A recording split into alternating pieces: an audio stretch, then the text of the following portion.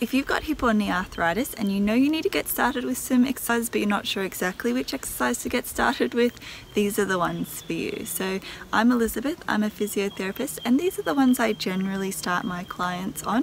Of course everyone is individual but these are just a great uh, set of exercises for most people just to build some strength and confidence. They're really simple and easy to do and you can do them at home, no equipment required. So let's get into it.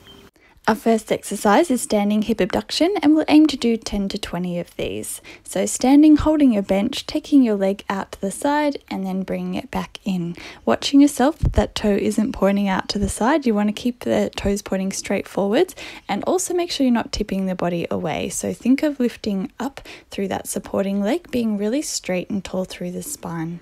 So taking that leg out to the side, leading from the heel and coming back in and again. So, really checking that those toes don't point out to the side and thinking of being really tall and strong up through that supporting leg, keeping the body really straight and square.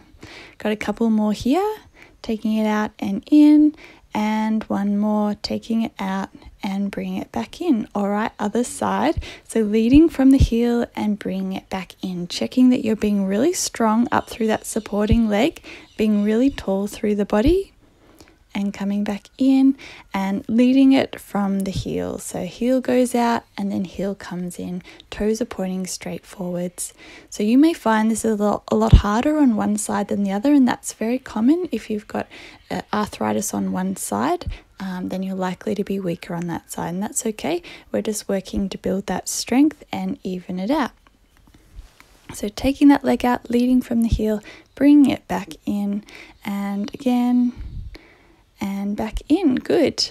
All right, so our next one is standing hip extension. So you can stay holding the bench the way you are, but I'm going to turn around so you can get a good side view. So we're taking that leg out behind, squeezing from the buttock and bringing it back in. So just watch that you're not bending through the knee, that's really common.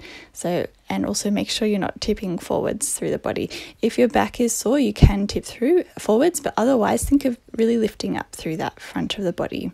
So you're really squeezing through that buttock to take that leg behind you and bringing it back in. So it's all about the buttock.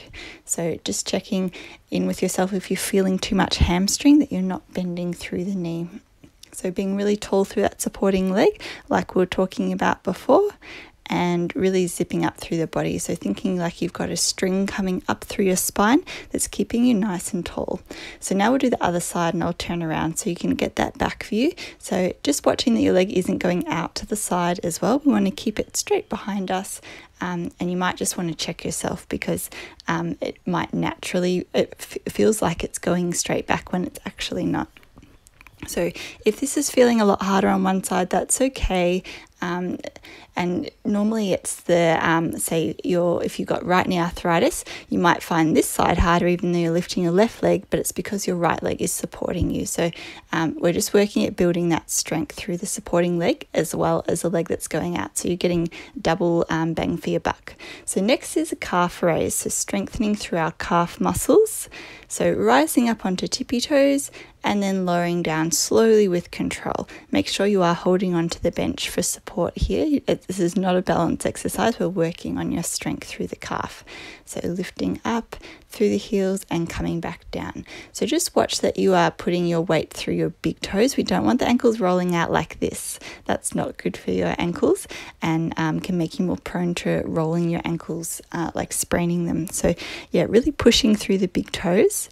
So this calf muscle crosses your knee at the back. So it gives you a lot of good support for the knee at the back. And that's what these exercises are doing. They're supporting the um, knee all and the hip from front, side, and back. So, rising up on tippy toes, pushing through the big toe, lowering down slowly with control. And we always want to stretch out after we do this because uh, tight, tight calves don't feel good and they can lead to pain. Now, just watch that your toes aren't pointing out to the side. That's a way of cheating. And make sure your knee isn't bent. So, we want straight back knee and then toes pointing forwards. And then you lean forwards into that front leg, keeping that back heel down to feel the stretch. And you should feel it along the back of that back calf. So you can hold this anywhere between 10 and 20 seconds and then swapping on to the other side. So just check that your toes are pointing straight forwards. If you are very tight through your ankle, your body will want to cheat and have that toe pointing out to the side and lunging forwards, feeling that stretch. Really drive through the back heel to get that full stretch. Okay, so the next one is seated knee extensions. So this one is better to do uh, with your feet flat on the ground and your back against the chair, but I'm just doing it um, on this chair to be a bit more aesthetically interesting for you. So we're taking our leg out, we're tightening through that thigh muscle and then bringing it back down after a hold. So, yeah, when you take that leg out, really try and make it as straight as possible, and you're pulling your kneecap up and tightening through that thigh to get that full work through that thigh muscle. So, this is strengthening you through your front of the knee, yet really making sure you're tight through the front of the thigh and slowly down. So we're doing about a five second hold at the moment, um, but you can build up to doing 10 second holds and with time you might want to add in some leg weights or a band to resist you. So holding it up and then bring it down slowly with control. Taking it out and holding tight through that thigh. Make sure you are keeping it tight and straight and it's not starting to get a bit saggy or bent. Tightening up straightening, keeping it really straight and strong. If you're getting too much of a stretch through your hamstrings, you can point your toes, but if not, it's good to have that foot flexed. And coming back down. Good. And if you're getting any back pain with this, just check that your back is supported. If you're short, you can have a cushion behind you so you can reach the back of the chair. Other leg, so tightening up through that thigh, really pulling up through that kneecap, and then lowering it down and again. So we're taking it out, we're holding five, four, three, two, one, and then lowering it down.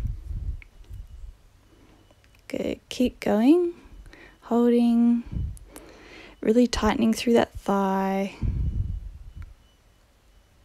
being really tight. So, and again, so this is a really important exercise because it's strengthening through your quad muscles and you need them for walking, going upstairs, that sort of thing. And because it's non weight bearing, it's generally a pretty comfortable exercise. So you can do this one when you're watching TV, when you're sitting, and it's a good one to do if you've just been sitting for a while and your knees are stiff when you get up. It just gets the blood flow and lubrication happening. All right, couple more here. Tightening through that thigh holding and then bringing it back down and again. Really keep that really strong and tight through the thigh. So you're actively pulling that thigh muscle up to feel the work. Holding two three four five and lower down slowly with control. And again holding it up.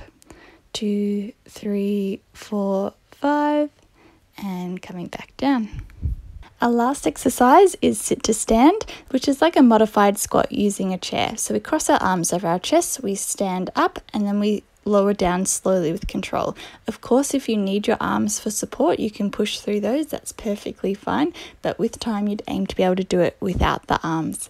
So, when we're coming up, we make sure we straighten up all the way, squeezing through the buttocks, and when we go down, it's really slow and controlled. So, if you imagine like you're sitting onto a carton of eggs and you're not wanting to squash them and make scrambled eggs, that's what you're aiming for.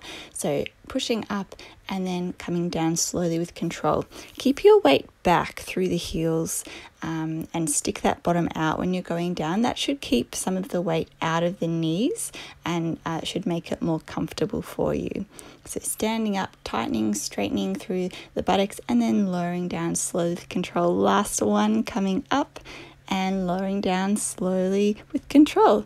All right, well done. So, you've just made it through these five foundational exercises for um, hip and knee arthritis. If you've got any questions, put them below.